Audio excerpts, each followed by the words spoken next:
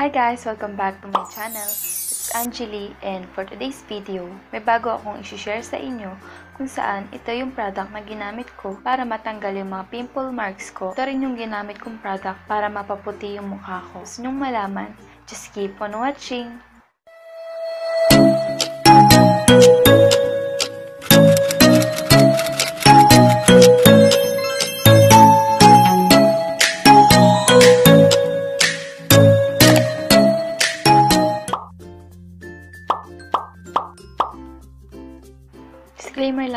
Hindi ibig sabihin na effective sa akin is magiging effective rin sa inyo. Bago nyo i-apply yung mga products sa iba't ibang parte ng katawan nyo, make sure na basahin nyo muna yung mga ingredients na nakalagay sa packaging ng product.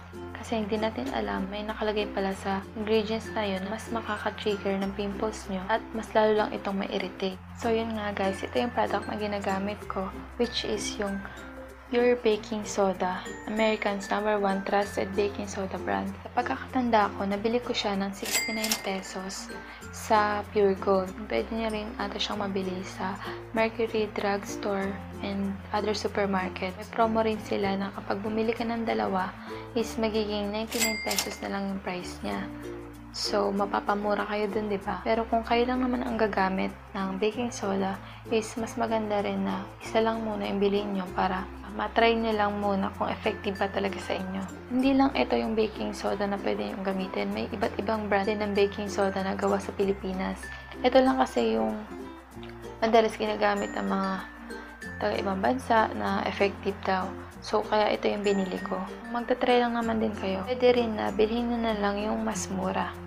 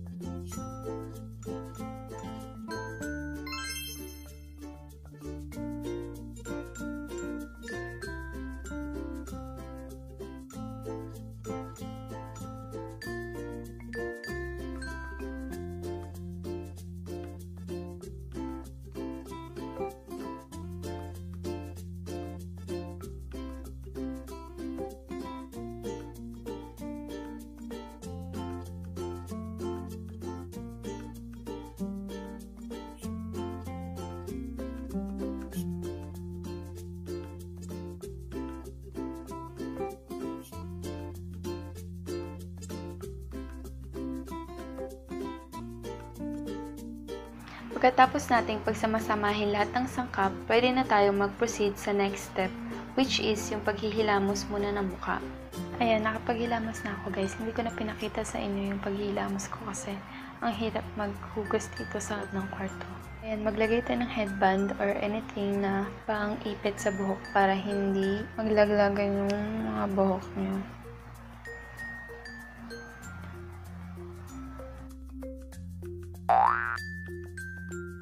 Pagpasensyahan nyo na yung no. So, yun. Ito na yung nagawa natin. Ayan. Pwede na nating ilagay ito sa mukha natin. And then, scrub natin. Gamitin nyo na lang yung kamay nyo sa pag apply para mas madali.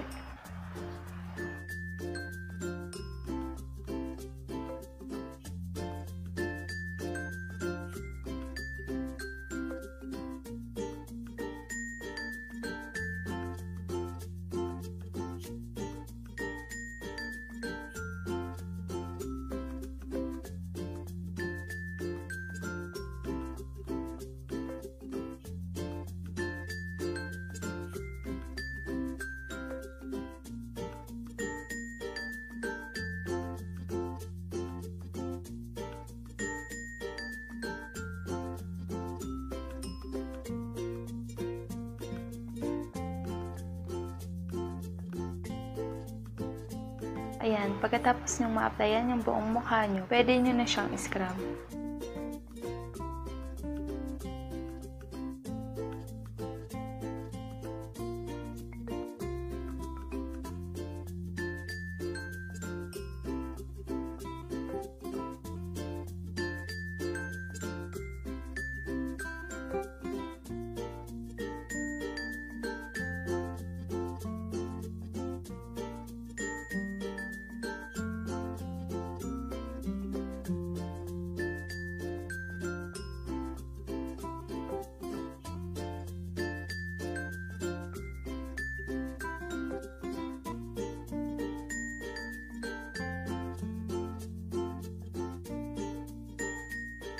Yung ibang itim-itim dito sa cheeks ko guys. Ano na yan? Freckles ko yan. Huwag yun nang idamay, nananahimik sila. eh.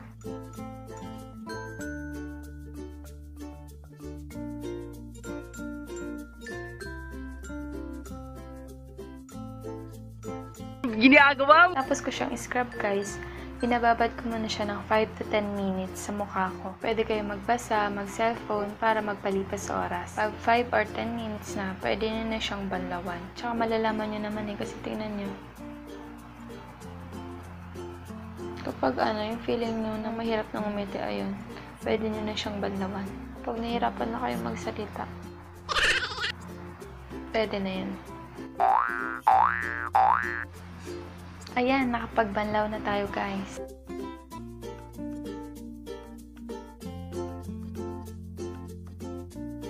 Siyempre, punasan nyo yung mukha nyo ng malinis na towel or tissue.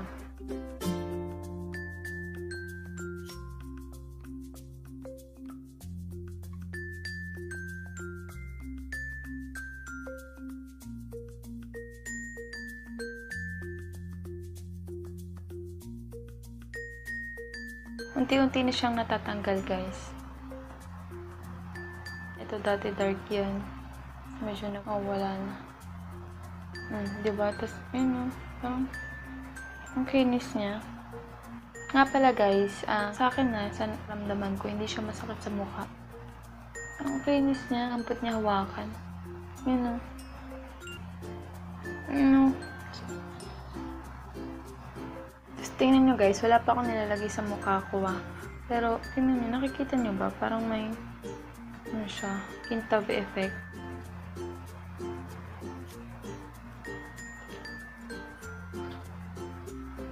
Ang 3 days ko na palang ginagamit tong baking soda sa mukha ko and nilalagay ko siya tuwing gabi lang. Pagkatapos ng banawan yung mukha nyo, huwag nyo kalimutang maglagay ng moisturizer or any cream para hindi mag-dry yung skin nyo.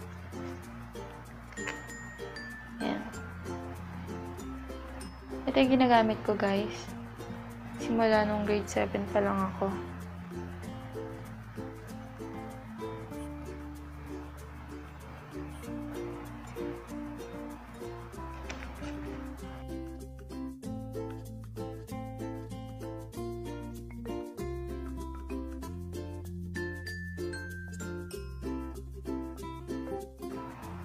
Kaya ako meron dito guys kasi pag magkakaroon na, ayan, yan na naman yung mga pimples na yan, nagsisilabasan.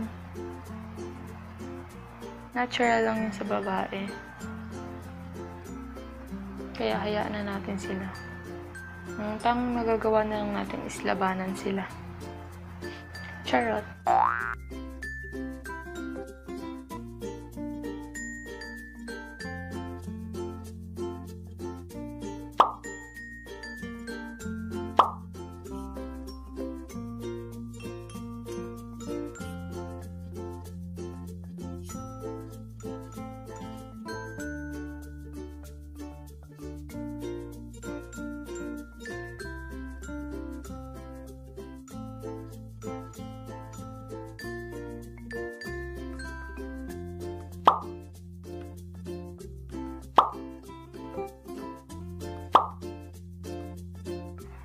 Kung nagustuhan niyo tong video guys, don't forget to like, share, and subscribe.